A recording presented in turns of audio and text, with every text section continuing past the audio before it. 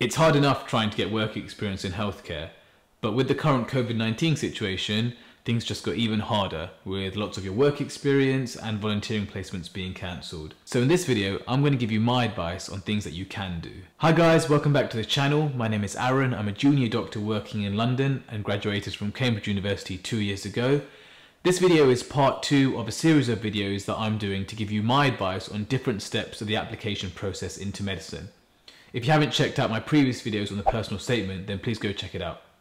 So in this particular video, we're going to be focusing on the work experience part of your application. For most of us, work experience becomes a bit more of a tick box exercise where even after we've finished our work experience, we start to think, have I done enough? Somebody else did this, someone did that. And what we'll actually see is that there's some really useful resources that most people don't know about from UK medical schools and the Medical Schools Council, which is the kind of body that looks after all the UK medical schools, on what they recommend for work experience, what actually counts as work experience, and things that you can do if you can't get the work experience that you really want to. And that's probably most of you in the current COVID 19 situation. So let's jump straight into it. This is going to be the structure of the video. Firstly, we're going to talk about the three main reasons why work experience is so important. Secondly, we're going to talk about what the Medical Council says in terms of what counts as work experience, what kind of work experience is recommended, and things like how long you should do your work experience for. And finally, we'll be going through things you can do specifically if you haven't managed to secure the work experience that you really want to. So feel free to jump straight to this bit if your plans have been affected by COVID-19. Everything is timestamped below in the description, so feel free to jump to any particular part. So for now, let's jump straight into it and talk about the three main reasons why work experience is so important. So number one, it lets you realize whether a career in medicine is really for you. Do you like the day-to-day life of being a junior doctor? And if it is something that interests you, you're much more likely to put in the time and hard work and take your application really seriously. Number two, so that you can mention your work experience in your personal statement. Remember, the personal statement is your only way of showing the admissions team before your interview that you really understand what a career in medicine involves. So make sure you drop in highlights of your work experience in your personal statement. So especially things like qualities of a good doctor, like empathy, communication skills, or teamwork. And finally, reason number three is so that you can reflect on your work experience and explain to them in an interview about the lessons that you've learned. Medical schools are really, really big on reflection. I was lucky enough to sit on the Cambridge Medical School interview panel, and I still remember this student who changed the entire vibe of her interview with one snippet where she reflected on her work experience. When asked about any difficulties she anticipated about being a junior doctor, she told us about one of her work experience examples where she was shadowing a junior doctor on call on a really, really busy shift. And at the end of the shift, the doctor turned to her and said, Medicine can be really, really tough. Make sure that you think about it before you commit to something like medicine.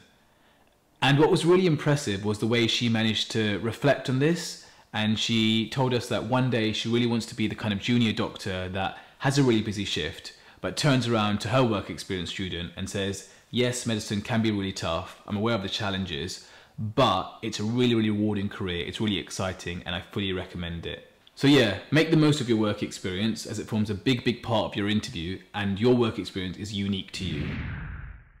So now let's talk about recommended work experience this is what the Medical Schools Council says on their website about work experience. Work experience can be any activity that allows you to demonstrate that you have, number one, had people focused experience of providing care or support to others. Number two, develop some of the qualities essential to being a good doctor, such as communication skills. And number three, a realistic understanding of the demands of what a career in medicine involves. So if you look at that closely, there are actually lots of possible experiences that meet those three criteria. Typically, people think of work experience as only one of two things work experience in a GP surgery or work experience in hospital. But other things that I think are just as valuable and actually more interesting and help you stand out could include volunteering in your hospital admin team, for example, the complaints team, and this allows you to see the patient's perspective. You could volunteer or be part of St John's Ambulance, where you could develop your communication and first aid skills. You could do some volunteering in your hospice to find out a bit about end of life care and pain management, volunteering in your residential home where you can work with the elderly patients, or working with kids, for example, in a nursery. And I think it's nice to do both of these to show that you can compare the similarities and differences of working between two extreme age groups. You can also do some volunteering or work in a lab where you find out about the research side of medicine and then also volunteer or work in a pharmacy, find out about the medication side of things. So that's just a few ideas. Now on to kind of how long you have to spend at each of these kind of work experience places. And some people spend a few hours there, some people spend weeks and weeks. It really comes down to what you can get out of the time that you spend there and how you can show this to your interviewers. Like for example, I literally spent half a day in a research lab as part of my upper sixth, and then I spent months and months every Sunday volunteering at my local residential home. And actually, in my interviews, all of them were so much more interested in my time in the research lab. I think they thought it was kind of cool, kind of interesting, kind of up to date. I literally had no idea what they were doing there, but it made me sound kind of smart, so it worked out well. Now on to how to make the most out of your work experience. Very simple. On the way back home from your work experience or your volunteering placement, write down one thing that really stood out to you. One a day, that's all. It could be a patient with a rare diagnosis. It could be the way a doctor broke some bad news about a scan result to a patient. It could be watching a scan or a procedure that a patient had that was quite interesting to you. Just one a day, and after that, you'll have a good variety of things to pick out for your personal statement and your interview.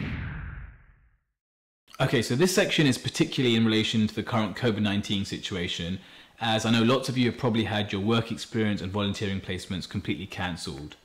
Hopefully, some of the volunteering things I mentioned earlier, like in a lab or in a hospice, become more accessible to you earlier than the more obvious healthcare placements. In the meantime, a few things to definitely consider are online resources that give you an idea of what healthcare life is really like. And most of them are quite official and have been set up by medical schools and the Royal Colleges. So for example, Brighton and Sussex Medical School have put together a completely free virtual online work experience platform where you can go through it at your own pace. It shows you the structure of the NHS and talks you through six different medical specialties. And another great free online resource is Observe GP. It's been made by the Royal College of GPs and talks you through the different roles of people at a general practice. Remember, literally the entire world has been affected in one way or another by COVID and medical schools are fully aware that your opportunities to do work experience and volunteering have been affected. So I'm sure that they will take this into account. But hopefully you find those two online resources useful. Okay, so that brings us to the end of this video. I really hope you found that useful in terms of planning and making the most out of your work experience. Just to summarize what we've covered, we first talked about the three main reasons why work experience is so important. We've then looked at what counts as work experience according to the Medical Schools Council, what kind of things we recommend, and also how long your work experience should be. And then finally, we talked about some of the alternative online resources that you should definitely consider. I think the most important thing to take away from all of this is that what you did is just a small part of your work experience story and actually what you learned and how you communicate it is what really matters. These are just some of my thoughts on what worked for me. I really hope you liked the video. Thank you so much for watching. If you liked the video, if you found it useful, then please leave a thumbs up, comment below, and please subscribe to the channel. All the best with the application process, guys, and I will see you in the next video.